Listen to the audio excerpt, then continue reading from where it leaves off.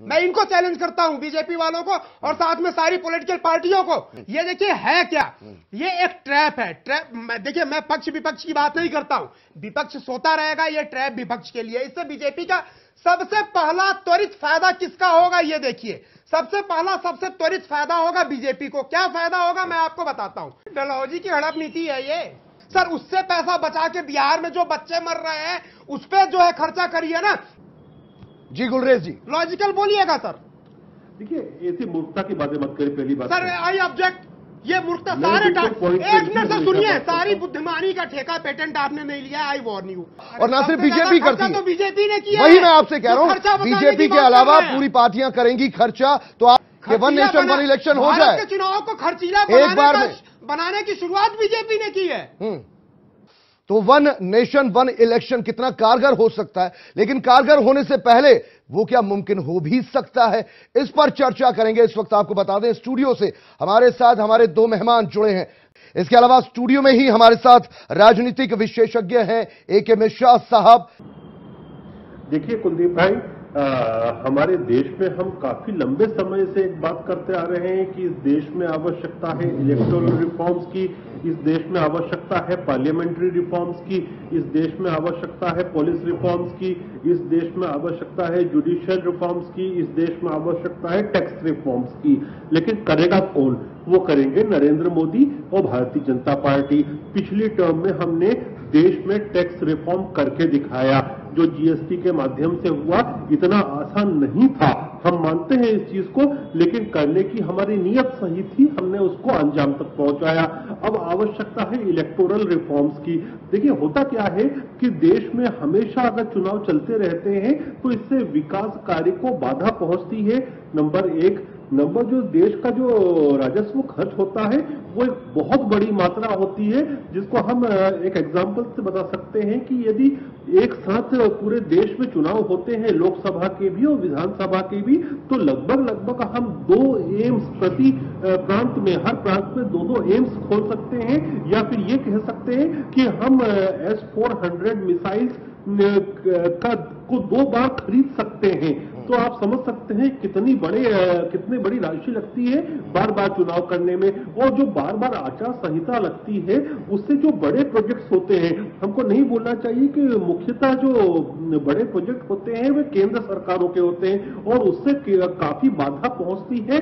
मतलब आज महाराष्ट्र में यदि चुनाव है तो हो सकता है उसका जो केंद्र की बड़ी योजनाएँ हैं, जैसे रोड्स की हो या पोर्ट्स की हो तो उसके कारण छत्तीसगढ़ को भी प्रभाव पड़े चलिए ठीक है ठीक है ठीक है आपकी दलील समझ आती है तो आपकी दलील कुछ हद तक समझ आती है। के जी गुलरेज शेख साहब आपकी दलील कुछ हद तक समझ आती है। आपने एस फोर हंड्रेड का ज़िक्र कर दिया। यानी कि आप ये कह सकते हैं ये कहना चाहते हैं कि देश भर में अगर एक साथ चुनाव कराए जाते हैं तो चालीस पचास हज़ार करोड़ रुपए आप बचा सकते हैं। एक मिश्रा साहब आपसे ये जानना चाहूँगा मैं चालीस पचास हज़ार करोड़ हालाँकि ये बहुत बड़ा आंकड़ा है लेकिन क्या डेमोक्रेसी। डेमोक्रेसी सिर्फ़ इसलिए चलती है कि पचास हज़ार करोड़ रुपया बचा लिया जाए या उसके बहुत से एस्पेक्ट होते हैं और यही मैं चाहूँगा। एक मिश्रा साहब आप दरअसल क्लियर करते चलिए कि महज पैसों की है क्या? जी। मैं सिक्के के दोनों पहलू को देखते हैं। कोई आरोप न लगाए कि मैं बीजेपी या बीएसपी या किसी का प्रवक्ता हूँ। जो इन्होंने बोला बीजेपी के मित्र ने हमारे वो है। मैं उसको मानता हूँ वो सही है। लेकिन अगर पाई चार्ट बनाए और उसमें इंपॉर्टेंस को कैटेगरीज करें ना तो मैं 10 से 15 परसेंट से ज़्यादा इसके फेवर में नहीं हूँ। वन नेशन वन इलेक्शन देखिए, है क्या? बीजेपी ने जितने भी अभी रिफॉर्म किए हैं सारी चीज़ें, देश का रिफॉर्म कम हुआ है, इनकी अपनी पॉलिटिकल पार्टी का रिफॉर्म ज़्यादा हुआ है। हार्ड कोर फैक्ट है।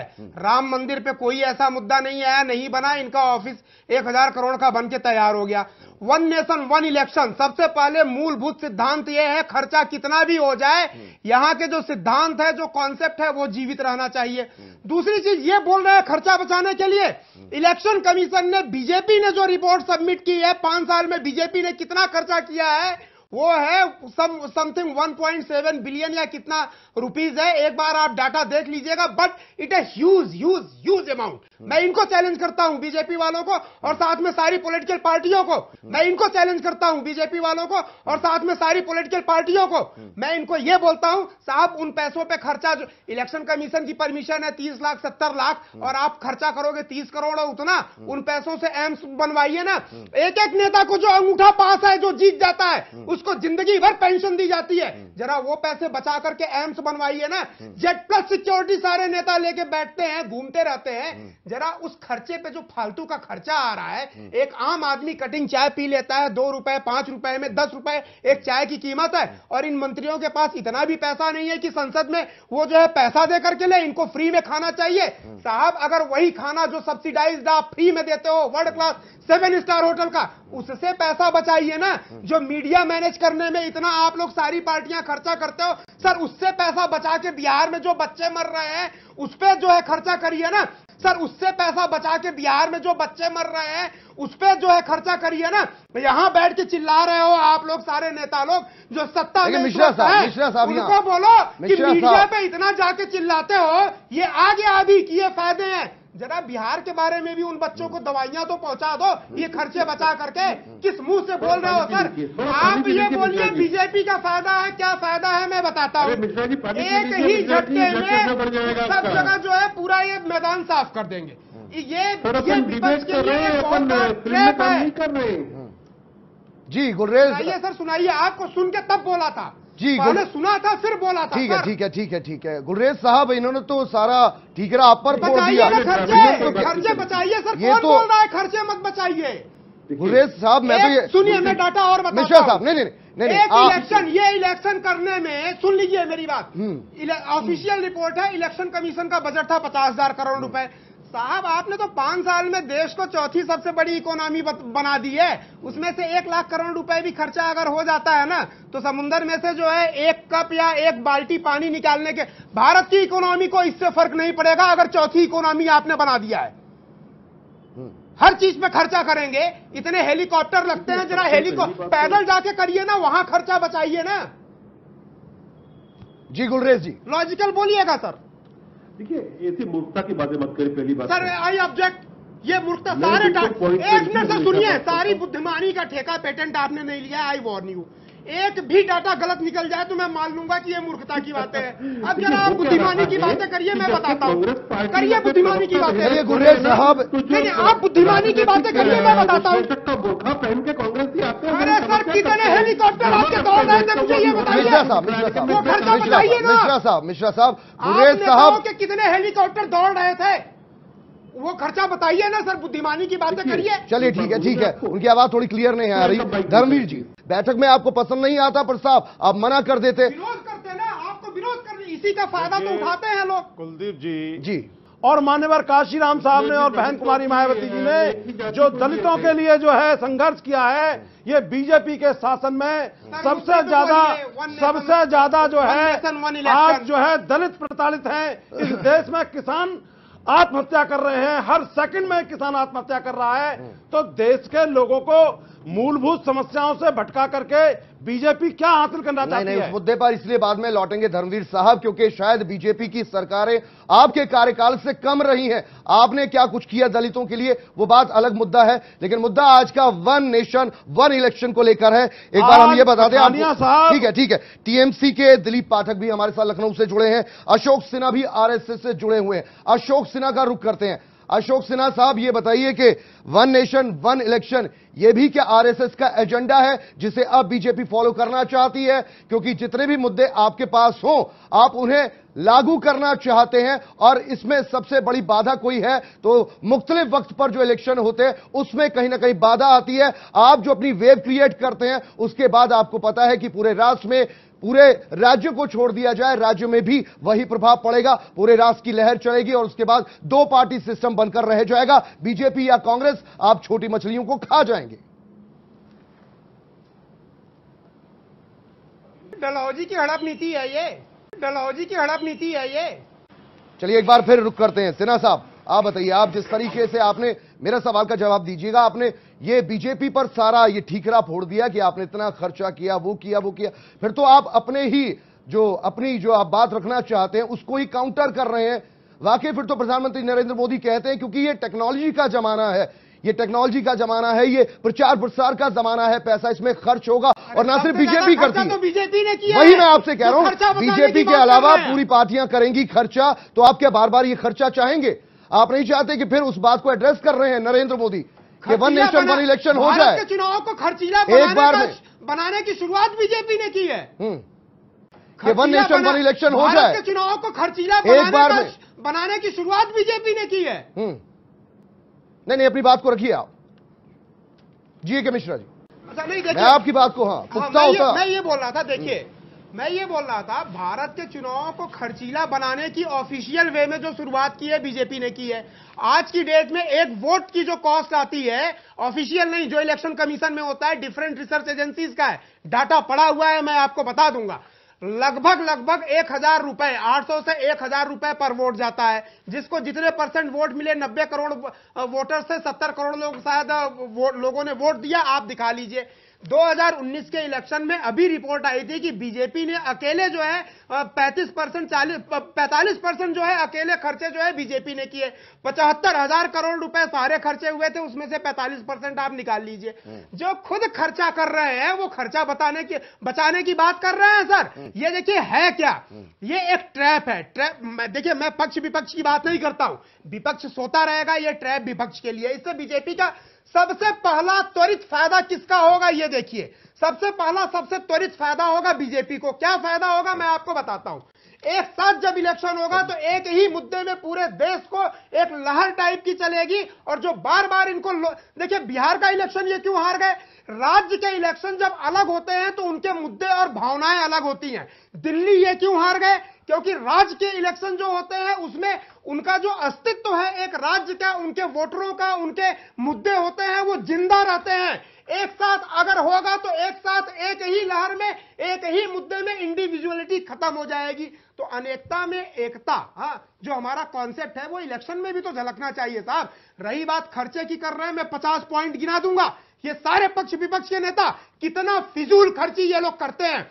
दस रुपए की चाय भी जो नेता जो है फ्री में पीता हो फाइव स्टार होटल की कैटेगरी का और दस रुपए की दवाई के लिए बच्चे मर रहे हैं ये खर्चा बताने की बात मिश्रा साहब मिश्रा साहब आपकी बातों को भी रखेंगे। लखनऊ एक बार रुक करते हैं और इस वक्त अशोक सिन्हा आरएसएस के हमारे साथ जुड़े हुए अशोक सिन्हा साहब, आप बताइए, आपसे पहले सवाल किया था, आपको फ़ोन शायद लगा नहीं, आपको आवाज़ गई नहीं। ये बताइए कि बीजेपी पूरी तरीके से आपका जो एजेंडा है, अब फॉलो करना चाहती है? पहला भी सवाल मेरा ये था कि अब महज टू पार्टी सिस्टम बन के रह जाए, छोटी मछलियों को बड़ी मछली खा जाए। कुछ इस तरीके का एजेंडा अब सामने आएगा क्या? जी, अशोक जी। आरएसएस का एक एक भी स्वयंसेवी बिहार में नहीं पहुँचा। मरीजों के पास। एक नंबर डाला एक नंबर डाला। एक भी डॉक्टर इनकी संगठन का नहीं पहुँचा ये भी पूछ लीजिएगा।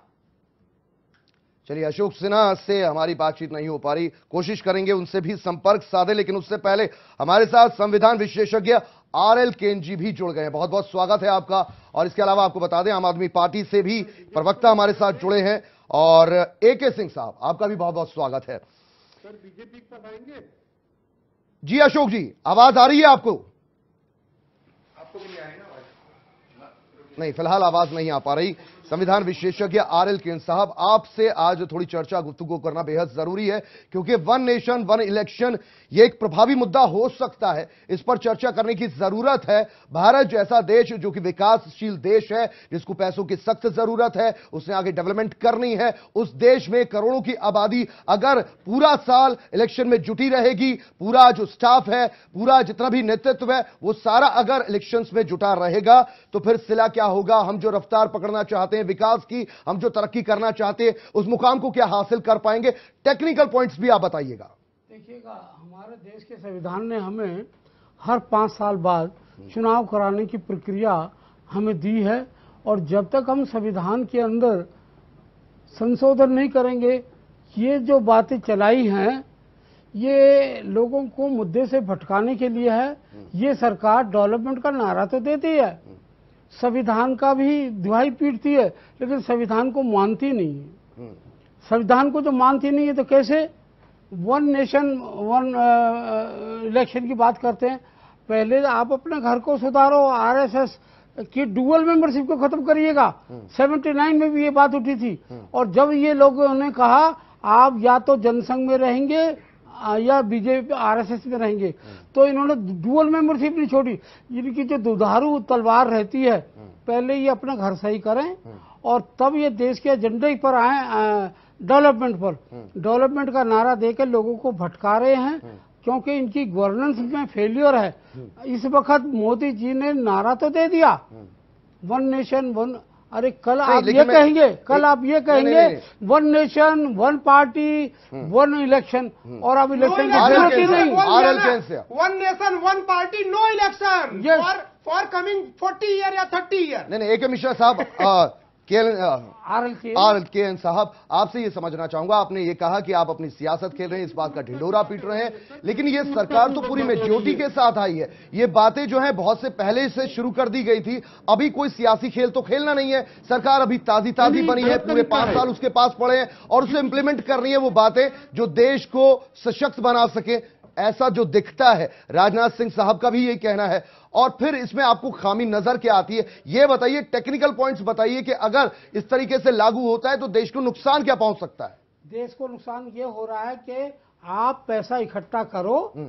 लोगों का ध्यान भटकाओ और लोगों को कहो कि बस एक पार्टी और वन मैन शो चलने दो तो ठीक है। नहीं, नहीं, मैं बता रहा इस वक्त। इस वक्त जो टेक्निकल इन्होंने मुद्दे पकड़े हैं नहीं, नहीं, मैं- मैं पब्लिक का हूँ पैसा पब्लिक का पैसा इस तरीके से आप खराब करिए करिएगा कहा कि पब्लिक का ध्यान भटकाओ मैं, टेक्निकल बता रहा हूँ ना क्या नुकसान होगा? ए के मिश्रा आप साहब देखिए। नहीं नहीं मैं मैं ये ये पूछना चाहता हूँ सवाल आपसे कि लोगों का ध्यान भटकाओ। और वैसे जो पूरा पाँच साल लोगों का ध्यान भटका रहता है उस पर भी जरा आप बात कीजिए। हाँ मैं बता रहा हूँ देखिए है क्या ध्यान विकर्षण की एक स्ट्रेटजी होती है। बीजेपी अब जीत गई अगले पाँच साल के बाद या 2022 में भी तो जीतना है ना। अब भाई पीछे जो इन्होंने बोला था राम मंदिर ये मुद्दा वो मुद्दा वन नेशन वन टैक्स हाँ। और उसके बाद नोटबंदी से आतंकवाद की कमर टूट गई वो सब मुद्दे पूरे हो गए। उनके अपने डिक्शनरी में mission completed mission accomplished BJP के अपने डिक्शनरी में। देश में क्या है वो डिफरेंट सर सुन लीजिए सुन लीजिए। Let me allow to finish please have a patience अब है क्या? One nation one election one currency कर दीजिए। क्यों लोग क्यों हैं। क्यों पचास रुपए सौ रुपए की करेंसी है? चिल्लर भी आप निकाल रहे हैं। वन ड्रेस कोड कर दीजिए सब लोग एक ही चीज़ पहने। वन स्टेट कर दीजिए क्यों उनतीस स्टेट आपने किए हैं? अगर इन सब चीज़ों से खर्चे बचते हैं सर इतना बड़ा मिथ देखिए ये मैं तो हैरान होता हूँ विपक्षी दल क्यों नहीं बोलते हैं क्यों नहीं समझ पाते हैं। सबसे बड़ी है कि भारत की विविधता में एकता को मेंटेन रखना। हर राज्य की अपनी आइडेंटिटी है हर राज्य के अपने मुद्दे हैं और हर राज्य के इलेक्शन उनके राज्य और क्षेत्रीय मुद्दों पे होने चाहिए न कि पाकिस्तान और नेशनल नेशनल मुद्दे होते हैं। हर राज्य वाले राष्ट्रवादी हैं। चलिए ठीक है मिश्रा साहब आपको ये लगता है आपको ये लगता है कि एक साथ ठीक है ठीक है आपको ये लगता है कि एक साथ इलेक्शन हुए तो राष्ट्रीय मुद्दे प्रभावी हो जाएँगे। है ठीक है ठीक है ठीक है भारत की सरकार खर्च कर सकती है। ठीक है, ठीक चौथी है। सबसे बड़ी इकोनॉमी इन्होंने बनाई है। ठीक है। आपकी ये दलील हो सकती है लेकिन ये दलील कितनी पुख्ता है? ठीक है। गुलरेज साहब आप रखिए अपनी बात को। है ही नहीं आपके पास बोलने के लिए तो क्या जी गुलरेज साहब रखिए अपनी बात को। मिश्रा साहब वक्त दीजिए। देख देखिए मैं देखिए एक बात यह है कि सबसे पहले तो हम एक सकारात्मक भाव से कम से कम विचार विमर्श तो करें और आज जो प्रधानमंत्री महोदय ने सभी दलों को बुलाया एक विचार के लिए बुलाया है अभी कोई बिल नहीं रखा लेकिन ये लोग विचार तक नहीं करना चाहते क्योंकि इनका फेडरल स्ट्रक्चर पे कोई विश्वास नहीं है। दूसरी बात 1962 विचार करना है तो से लेकर मीडिया में चार बोल के चुनाव विचार हुए नहीं जो करते हैं। 1967 अपने कमरे में तक। मुझे बोलने देंगे आप। ठीक है मैं बात पूरी होने दीजिए मिश्रा साहब अच्छा, उनकी बात पूरी होने कुलदीप अगर आप इनको कंट्रोल नहीं कर सकते तो फिर हम क्यों ठीक है मिश्रा साहब नहीं बोल रहे आप रखिए बात खुल के अपनी। देखिए 1952 से लेकर 1967 तक इस देश में चार चुनाव हुए। और उन चारों चुनावों में यही था कि एक साथ सभी प्रांतों के चुनाव भी हुए, वो केंद्र सरकार के भी चुनाव हुए। तो क्या उस वक्त देश की अखंडता पे कोई समस्या आ रही थी? बिल्कुल भी नहीं आई थी। ये कब से शुरू हुआ? अलग अलग प्रांतों में अलग अलग चुनाव इसके दो कारण रहे। एक कारण तो यह था कि जब कांग्रेस की सरकार ने जैसे जैसे विपक्ष उभरते उभरने लगा और स्टेट गवर्नमेंट्स को उन्होंने हलाना शुरू किया उनको डिस्टेबलाइज करके गिराना शुरू किया। वहाँ से ये अलग अलग समय में अलग अलग चुनाव हुए। और दूसरा एक कारण था, जब अलग अलग नए प्रांत बने, एक प्रांत से कटकर तो ये हुआ। अब इसके लिए हम एक मैकेनिज्म तैयार करें। यदि सब लोग मिलकर तो उससे कितने लाभ होंगे, देश को आप समझिए। आप ये हमारे मिश्रा जी से और हमारे जो संवैधानिक एक्सपर्ट है, उनसे ये पूछिए। एक वर्ड में पूछता हूँ मैं डेडिकेटेड फ्रेट कॉरिडोर आप ये बताइए कि डेडिकेटेड फ्रेट कॉरिडोर का जो काम चल रहा है उसमें आचार संहिता जो अलग अलग प्रांतों में लगी उसमें हम्म, ये भी एक बहुत बड़ा मुद्दा है बहुत आपकी ये बात एक पॉइंट की गई इस पॉइंट पर आप ठीक है इस पॉइंट पर हम लखनऊ का भी दरअसल रुख करेंगे लेकिन उससे पहले? ठीक है दूसरी जवाब चीज़ दे दूँ। सर देखिए हाँ, जवाब क्या दूसरी है चीज़ दूसरी चीज़ दूसरी चीज़ अभी अभी इसी चुनाव में मैं 2019 की चुनाव की बात कर रहा हूँ। आप उड़ीसा के चुनाव की की विधानसभा को देखें? वहाँ पर बीजू जनता दल जीती है और वहीं पर आंध्र प्रदेश में जगन मोहन रेड्डी जीती है जीते हैं। जबकि यदि वहीं पर लोकसभा की सीटों को देखें तो मिश्रित परिणाम आए तो इसका मतलब यह है कि देश की जो डेमोक्रेसी जी बिल्कुल। धर्मवीर साहब आप बताइए धर्मवीर साहब आप बताइए कि यूनिवर्सल टैक्स सिस्टम जो होना था उसके लिए भी अच्छा खासा वक्त लगा। बहुत लंबा अरसा गुजर गया, दशक बीत गया, लेकिन यूनिवर्सल टैक्स सिस्टम लागू हुआ ना देश में। और देश में लागू हुआ, उसमें कोई बड़ा व्यापारी था, कोई छोटा व्यापारी था, किसी की कोई और समस्या थी, किसी की कोई और समस्या थी, लेकिन अब सब कुछ कंसोलिडेट होते हुए ठीक आ रहा है ना, रास्ते पर हो रहा है ना टैक्स कलेक्शन हो रही है, या फिर आप इस मुद्दे पर क्यों बिखर जाते इस मुद्दे पर आप बताइए, ये क्या नेचर बिल्कुल अलग है? वन नेशन वन इलेक्शन का यूनिवर्सल टैक्स सिस्टम बिल्कुल डिफरेंट है? वो बिल्कुल डिफरेंट है? ये बताइए आप।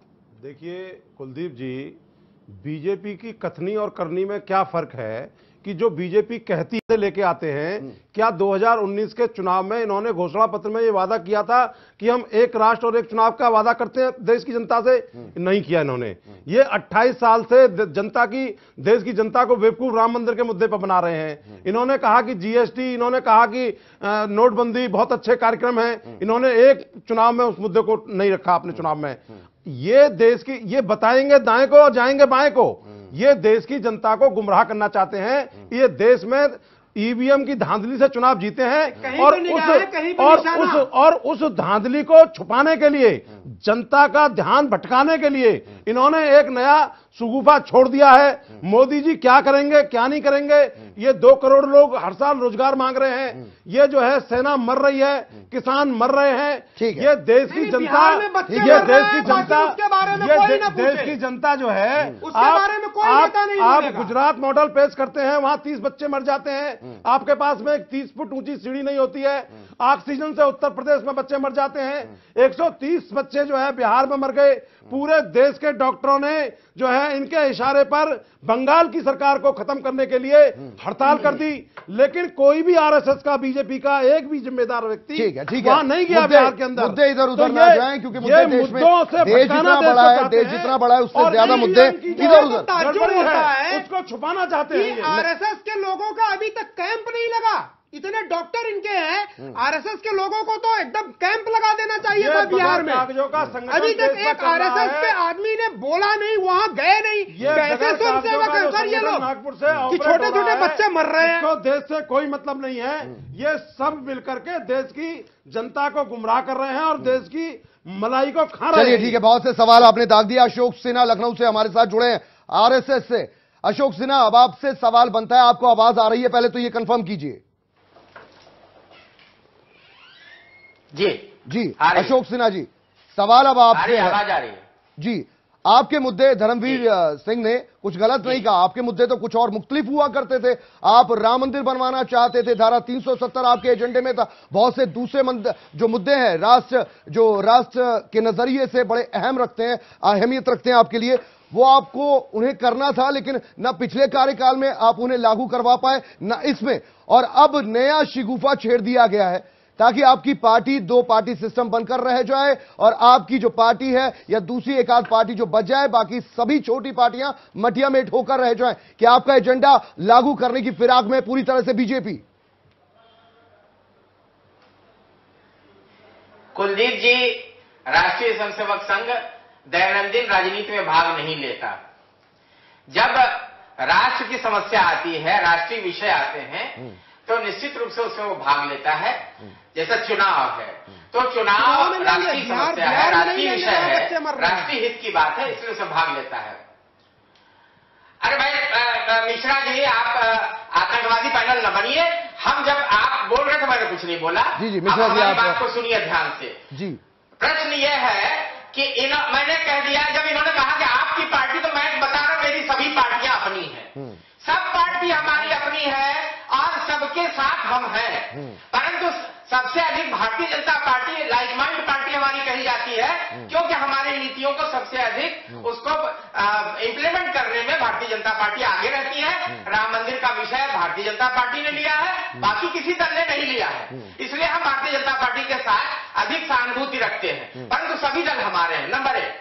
नंबर दो जो आज का मूल मुद्दा है मूल विषय है कि एक चुनाव एक देश।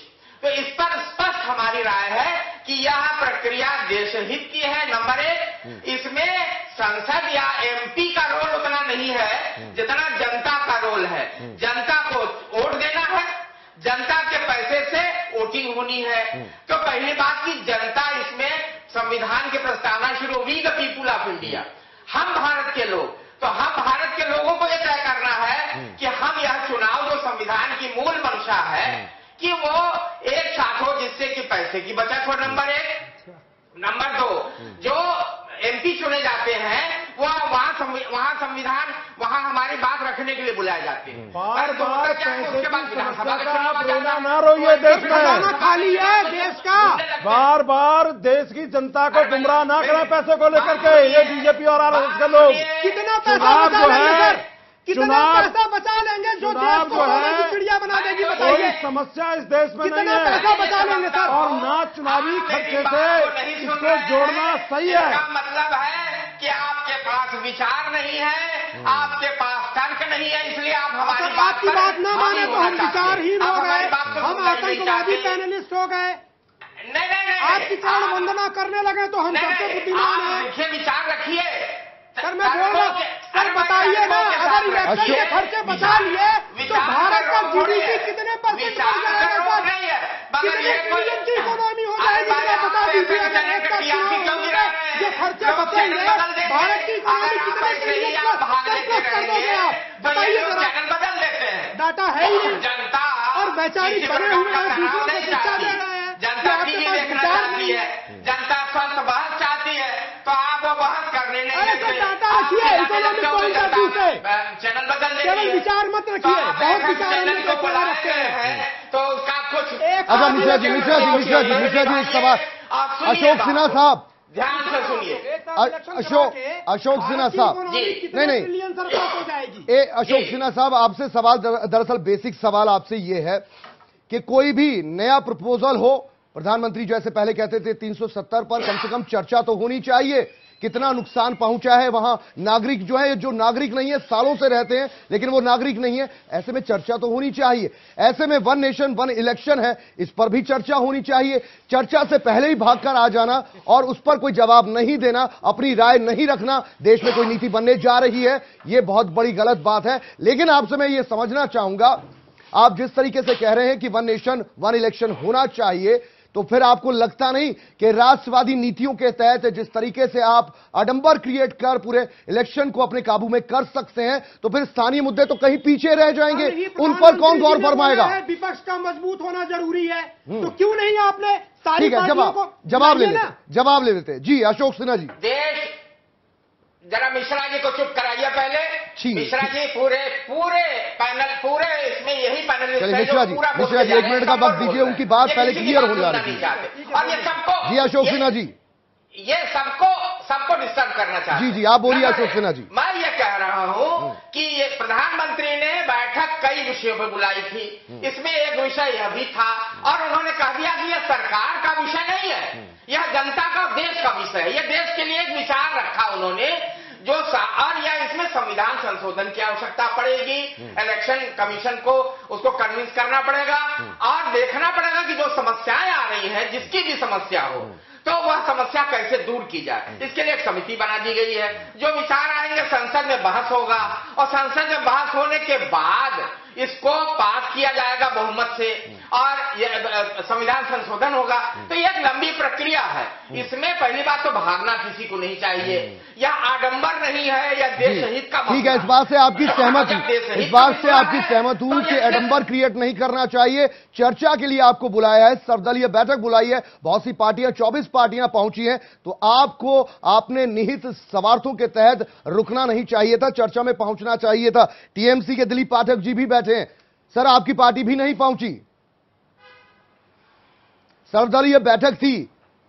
अगर देश में कोई बड़ी नीति बनने जा रही है उसमें आपका हाँ या ना में सहयोग तो होना चाहिए था। नहीं नहीं कुलदीप जी मैंने प्रश्न कुलदीप जी मैंने आपका प्रश्न समझ लिया मुझे अब जवाब नहीं दे देने दें और मैं तो चाहूँगा कि हमारे भाई मैंने जितनी गंभीरता से बातों को सुना है सुने जो मैं बोल रहा हूँ। जी। थोड़ा ध्यान दें उसके। बहुत बड़ा इशू ये है कि बड़ा चुनाव पे खर्चा आता है। बहुत अच्छा इशू है। उसके लिए कुछ नहीं करना है। इस सरकार को केवल एक छोटी सी वैकेंसी निकाल देना है 500 लोगों की चपरासियों की। कम से कम पचास हज़ार एक लाख फार्म आ जाएँगे। चार इलेक्शन निपट जाएँगे इतने में। अब भर्ती किसी की करना नहीं है। नव नव युवक बेरोजगार टहलता रहेगा। अरे इसके लिए बाकायदा श्वेत पत्र लाना चाहिए था।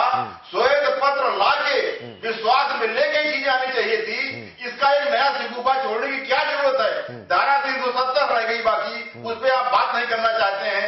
हमारे देश के चौवालीस जवान शहीद हो गए। आज तक उस पर क्या हुआ उसका कोई पता नहीं। बिहार में बच्चे मर रहे हैं उनका उन, उन, उनका देखभाल कोई एक बेड नहीं बढ़ा सके आप। ये क्या नया सगुफा आप जनता को कहाँ से कहाँ ले जाना चाहते हैं? रोज़गार आप देना नहीं चाहते हैं। आप चाह रहे हैं कि एमपी से लेकर प्रधानी तक चुनाव एक साथ हो तो सारी वैकेंसियों को नहीं कर देते। ठीक है। ठीक है। गुलरेज साहब गुरेश गुलरेज साहब बता गुलरेज जी। गुलरेज जी गुलरेज जी तो होता गुलरेज जी चाहे पैनल माने ना माने लेकिन मुझे लगता है कि वन नेशन वन इलेक्शन पर बहस होनी चाहिए। आप ये बताइए कि आप क्यों नहीं इनको कन्विंस कर पा रहे? कि मॉडल कोड ऑफ़ कंडक्ट लगता है। हर कुछ महीने के बाद किसी राज्य में कुछ होता है। बहुत सी परियोजनाएँ जो है, धरी की धरी रह जाती हैं। इलेक्शन में आपने बताया कि 2004 के जनरल इलेक्शन थे तो चार पाँच हज़ार करोड़ खर्च हुआ था। 2019 आते आते कई हज़ारों करोड़ रुपया ये हो गया। और उसके बाद जो पूरा जो सेंट्रल स्टाफ है या पूरा जो सरकारी कर्मचारियों का अमला है, वो लग जाता है। शिक्षा में व्यवधान आता है, बच्चों की पढ़ाई में व्यवधान आता है। क्यों नहीं आप कन्विंस कर पा रहे देखिए कन्विंस आप उसको कर सकते हैं जो पॉलिसी मैटर पर बात करें। अभी इनकी ये, इनका जो विरोध है ना, वो नीतिगत नहीं, वो राजनीतिगत। विरोध है। तो जब आप नीतिगत विरोध होगा तो हम समझा सकते हैं, परंतु कोई व्यक्ति यदि राजनीतिगत विरोध कर रहा है तो आप कैसे समझाओगे?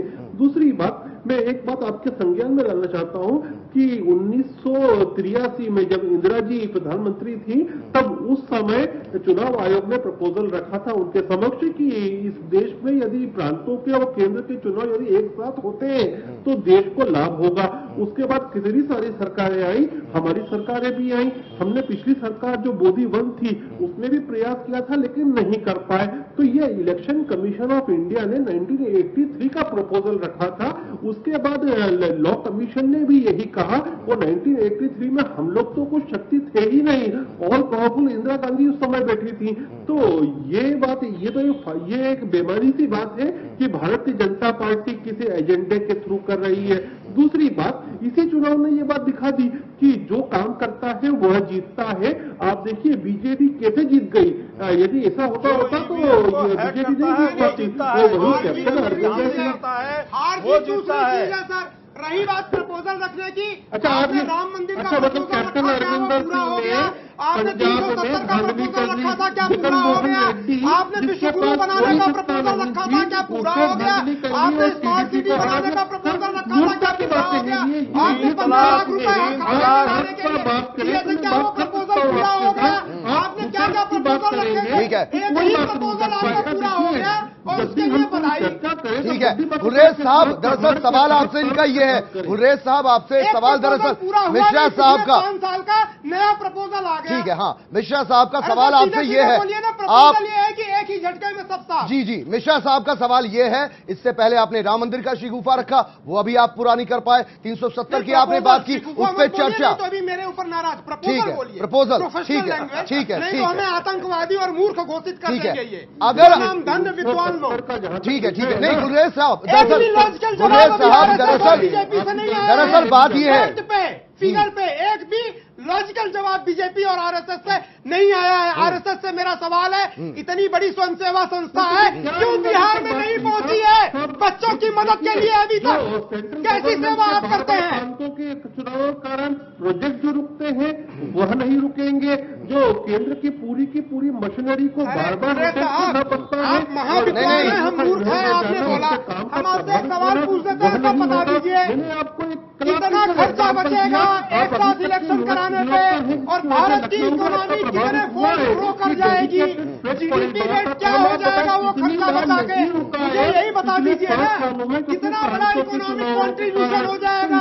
देश का ग्रोथ कितना हो ये सवाल जाएगा? ये सवाल आपका जेनुअन है? ये सवाल गुर्रेज साहब मिश्रा जी मिश्रा जी मिश्रा जी मिश्रा जी मिश्रा जी मिश्रा जी मिश्रा जी बता मिश्रा जी मिश्रा जी गुर्रेज साहब सवाल ये है आपका कि वाकई अगर आपने ऐसा कुछ सोच लिया है ऐसी कोई प्लानिंग कर ली है इसके पीछे आधार क्या है? आप कहते हाँ। नहीं। ये आधार थोड़ा गिनवा दीजिए आपका कितना पैसा बच जाएगा और कितनी रेट से इकोनॉमी जो है ग्रो करने लगेगी कितना फ़ायदा होगा देश का? जरा ये बताइए बताइए कितने है। नई जॉब आ जाएँगी?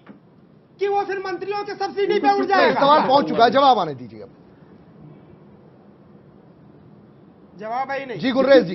जो एक अनुमान है कम से कम जी हम्म। एक अनुमानित कम से कम इस पे सत्तर से अस्सी हज़ार करोड़ रुपए का जो व्यय होता है हम्म। वह बचेगा दूसरी बात जो है कि जो केंद्र की योजनाओं में बार बार विघ्न आता है वो विघ्न रुकेगा हम्म। जिससे एक मान एक माना जा सकता है पौने दो से दो प्रतिशत जो जो है जीडीपी उसको भी प्रभाव पड़ेगा उसको लाभ मिलेगा करोड़ रुपए की फ़िक्र मत करिए भारत इतना गरीब देश नहीं है सत्तर जोड़ना गलत सत्तर। हज़ार करोड़ रुपए बचा कर मुँह में लगा अच्छा, इतना तो कोई इतना तो आपकी पार्टी खर्च कर देती है। सत्तर हज़ार करोड़ रुपए तो आपकी पार्टी आपकी पार्टी ने पाँच साल में कितना खर्च किया है? जरा इलेक्शन कमीशन को नहीं नहीं मिश्रा साहब मिश्रा साहब मिश्रा साहब मिश्रा साहब किसी पार्टी को किसी पार्टी को आप निशाना नहीं बनाइए। आप वन हाँ। सर इससे one election one nation one election सारे नेता लोग अपने घर के मंत्री नहीं नहीं वन नेशन वन इलेक्शन पर फोकस रखिए इस पर जनता क्या चाहती है जनता क्या इसे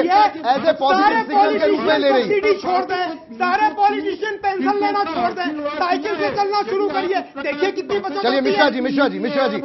ए के सिंह साहब अब आपसे जानना चाहेंगे सबसे थोड़ी थोड़ी बात हो गई। ये आप बताइए कि जब भारत में शुरुआती इलेक्शन हुए तो एक साथ हुए जनरल इलेक्शन भी एक साथ हुए सूबों के इलेक्शन भी एक साथ हुए एक नहीं शायद दो से तीन बार।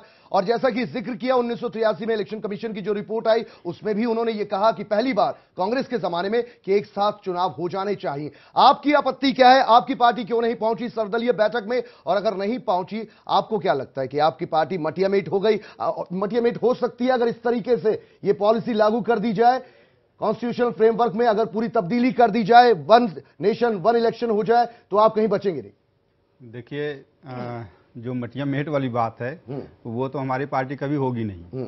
रीजन ये है कि हमारी पार्टी बेसिक मुद्दों पे काम करती है। स्वास्थ्य पे शिक्षा पे आप जैसे बिहार में देख रहे हो। ये बिहार में जो हो रहा बच्चे मर रहे हैं उसमें तो भाजपा भी शामिल बिहार है। बिहार में मत एक प्लीज़ ठीक है बात आपकी वो। संजीदा मुद्दा है उस पर चर्चा अलग से बनती है एक घंटे की नहीं दो घंटे की डिबेट उस पर बनती है। आप ये बताइए। हाँ हमारी पार्टी विरोध इसलिए कर रही है क्योंकि मेन चीज़ क्या है आप अगर पीछे चले जाइए तो इसका बेसिक उद्देश्य बीजेपी का क्या है वो देखिए। पूरे पाँच साल में मोदी ने हर राज्य के प्रचार में जा जाकर प्रचार किए। जो एक प्रधानमंत्री है वो राज्य से राज्य के इलेक्शनों में क्यों जाएगा? अगर वो जाते हैं तो उनको एक तकलीफ़ है कि अगर राज्य के इलेक्शन अलग अलग होंगे तो बार बार मुझे जाना पड़ेगा। क्योंकि आज जो मोदी की जीत हुई है असल में जीत मोदी की है बीजेपी की नहीं है पार्टी की नहीं है। अब उनके नाम से जीत हो रही है तो उनको उनको जाके प्रचार करना पड़ता है। तो पूरे अगर अगर जो अलग अलग इलेक्शंस होंगे तो उनको काम कर छोड़ करके प्रचार करना पड़ेगा। लेकिन आपने कहा कि मोदी का मोटिव क्या है? हो उन्नीस में तो मोदी साहब थे नहीं इलेक्शन कमीशन ने कहा उस पर सरकार ने गौर करना भी शुरू कर दिया था। मैं आज क्या कह रहा हूँ कि ये मुद्दा इन्होंने उठाया क्यों? हम्म। अगर ये उठाते तो पहले उठाते जैसा कि अभी हमारे पैनलिस्ट बोल रहे थे कि ये मुद्दा तब नहीं उठाया? न तो अपने इन्होंने किसी एजेंडे में रखा। जो एजेंडे में रखा उसको उसको ये बात नहीं कर रहे। नहीं नहीं पूरे पिछले पूरे कार्यकाल में इस बात का वो हमेशा इशारा करते रहे कि इस इशारा बात पर चर्चा होनी चाहिए। इशारा किया। ठीक है। ठीक है? हम्म। और दूसरी बात ये है कि जैसे जितनी जो स्टेट एक मिनट एक मिनट प्लीज़ प्लीज़। हम्म। जो स्टेट पार्टियाँ हैं उनकी अपनी एक आइडेंटिटी होती है। हमारे यहाँ पूरा देश डाइवर्सिटी में है। हम्म। साउथ में जाए तो अलग कल्चर है। नॉर्थ में आइए तो अलग कल्चर है। पूर्वी में जाइए तो अलग कल्चर है। तो जो उनके स्टेट के अपने मुद्दे होते हैं वो स्टेट के समय वो बखूबी उठा सकते हैं। मैं बताऊँ उत्तर प्रदेश की बात मैं नोएडा ग्रेटर नोएडा की बात बताता हूँ कि ग्रेटर नोएडा नोएडा में कितना भ्रष्टाचार है। और यही पार्टी भाजपा की जब इलेक्शन से पहले ये कहती थी आएँगे तो हम भ्रष्टाचार खत्म करेंगे। आज वहाँ भ्रष्टाचार पहले की पार्टियों से ज़्यादा है।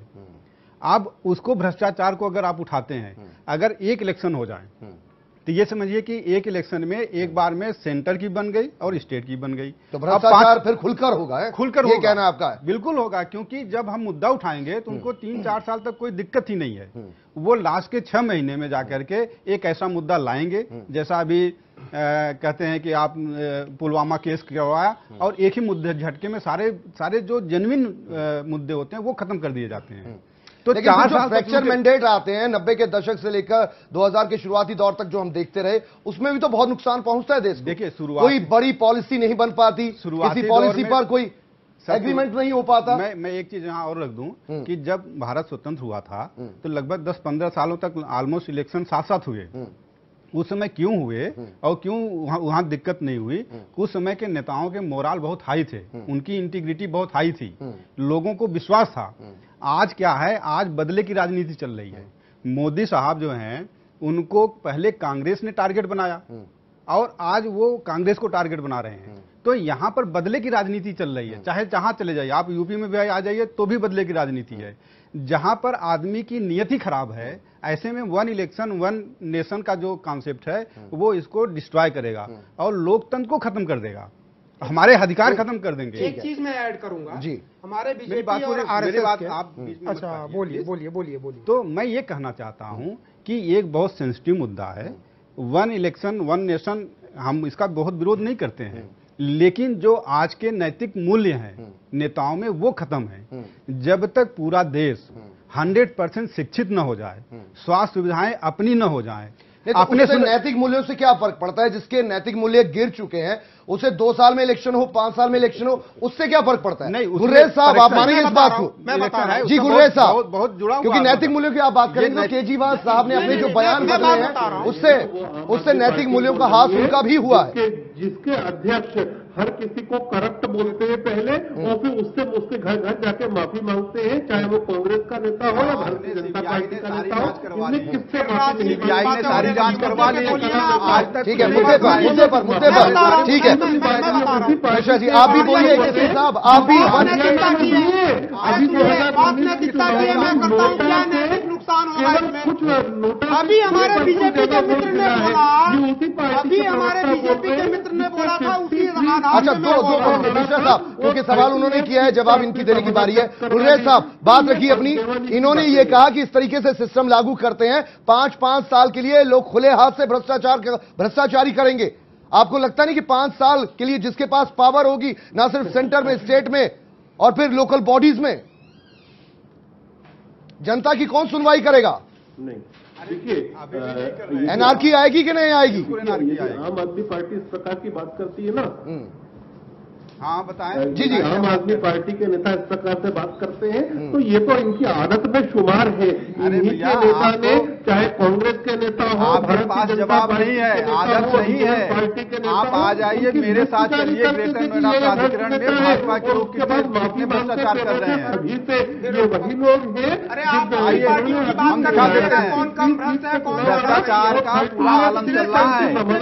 सेंटर से लेकर के सेंटर से लेकर के स्टेट तक। तो इनकी बातों में तो कोई नहीं इन्होंने तो जी मैं बता मेरे पास सबूत है। हम हमारे पास सबूत हम सबूत पे पे बात करते हैं। चलिए ठीक है मिश्रा जी बात रखिए लेकिन नैतिकता के पैरामीटर पे ये होगा संविधान में और शुरू से ही ये प्रोविज़न है हर स्टेट की अपनी आइडेंटिटी है।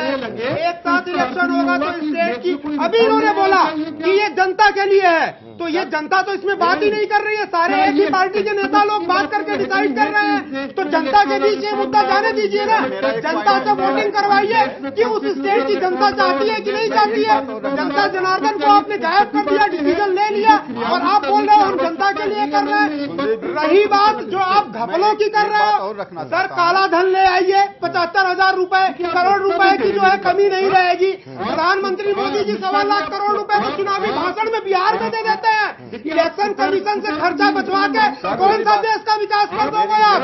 सवा लाख करोड़ रुपए को तो यहाँ घपले होते हैं नीरव मोदी और विजय माल्या को पकड़ लीजिए। पचहत्तर हज़ार करोड़ रुपए आ जाएँगे जो इलेक्शन कमीशन बचाएगा जो हमारे बीजेपी के मित्र ने बोला। हमारा एक बात है। जी मैं एक बात रखना चाह रहा हूँ। चाहिए केवल? क्या कि जो पैसे बचाने वाली बात ये कह रहे हैं। चलिए ठीक है बात जी मैं गुलरेज जी रुकिए। जी रुकिए गुलरेज जी रुकिए। आप कहिए? मिनट। जो ये पैसे बचाने वाली बात कर रहे हैं हम आपको सरकारी आंकड़े बता दें कि यहाँ जो डीपीआर बनते हैं अगर सौ रुपए खर्चा होता है तो तीन सौ रुपए का बनता है। तो जो दो सौ रुपए के डीपीआर बनता है वो खर्चे कहाँ जाते हैं? और दूसरी बात अगर खर्चे ही बचाने हैं तो जो चुनाव आएगा एक एक क्यों नहीं बनाता कि जो जो हमारा प्रचार प्रसार होगा वो हमारे मन से होगा आपसे होगा ही नहीं। आप क्यों सत्तर सत्तर लाख रुपए खर्च चलिए अशोक जी आपसे सवाल है। अशोक जी सवाल आपसे ये है कि वन नेशन वन इलेक्शन को यहाँ जितने पैनलिस्ट बैठे हैं ज़्यादातर की राय यह है कि आप वो आइसक्रीम पकड़ाना चाहते हैं जनता को जिसके ऊपर चॉकलेट की लेयर लगी हुई है नट्स की लेयर लगी हुई है। ये पॉलिटिकल और जैसे जैसे वो चूसते उसे चले जाएँगे उसके बाद बर्फ़ आएगी आपके दांत खट्टे हो जाएँगे। कुछ इस तरीके का आप मुकाम पेश करना चाहते हैं? हम कह रहे हैं कि हम तो हर प्रस्ताव को वेलकम जी अशोक जी। लेकिन ये इनकी भाषा का जी, गुरुदेव जी, अशोक जी बोलिए। असर हो सकता है हम्म। मगर मैं मैं मैं ये समझता हूँ कि इसमें देश हित छिपा हुआ है खर्चे ही नहीं बचेंगे एक मिनट एक मिनट समझ मिनट समझने दीजिए। साथ ही गुलरेज जी गुलरेज जी। एक मिनट मिश्रा साहब मिश्रा साहब बात समझने दीजिए बात समझने दीजिए। समझिए। बात समझने दीजिए। जी। प्रकार से जी। देखिए जी। ये जो नहीं चाहते जो लोग इसका नहीं चाहते कोई कि कहीं पे नहीं देश और एक इलेक्शन हो वह इसको टॉफी का रूप दे रहे हैं। मगर मैं बता दूँ आपसे कि इस व्यवस्था से आप मीडिया को मैं भी आह्वान करता हूँ कि वो ग्राउंड ज़ीरो पर जाए जनता से सीधे पूछे वो क्या कहती है? जनता क्या चाहती है? ये पैनलिस्ट क्या तय करेगा और एमपी क्या तय करेंगे? अरे सर, जनता अरे आपकी सरकार मीडिया के क्यों बात सरकार टरका आप आर एस एस के सारे मेंबरों को बोलिए सर्वेक्षण करके ले आए। किस दिन आप लोग सेवा अच्छा करेंगे। एक मिनट साहब ये बात तो आपको माननी पड़ेगी। जनता ही जिताती है? इलेक्शन। और चाहे पाँच साल में एक बार हो हर जगह के इलेक्शन या पाँच साल में ना होकर जो मौजूदा सिस्टम है वही चलता रहे। जनता के पास उतरना पड़ेगा क्योंकि जनता के जहन में या तो फिर आपको समझानी पड़ेगी उसकी खामियाँ क्या हो सकती मैं इन्हीं की बात बता रहा हूँ। भाई बीजेपी को क्या ऑब्जेक्शन है? जनता ने आपको जिता दिया। तो आप क्यों मुद्दा सर आप तो शासन में हो ना। तो आप क्यों कर रहे हो? जिसको प्रॉब्लम हो अगर विपक्ष को प्रॉब्लम हो तो ये मुद्दा उठाए। आप तो वन इलेक्शन हो या सौ इलेक्शन हो हर इलेक्शन आप जीत रहे हो बहुत अच्छी चीज़ है बधाई है। चलिए ठीक तो है। मिश्रा साहब मिश्रा साहब मेरा एक कहना है। जी।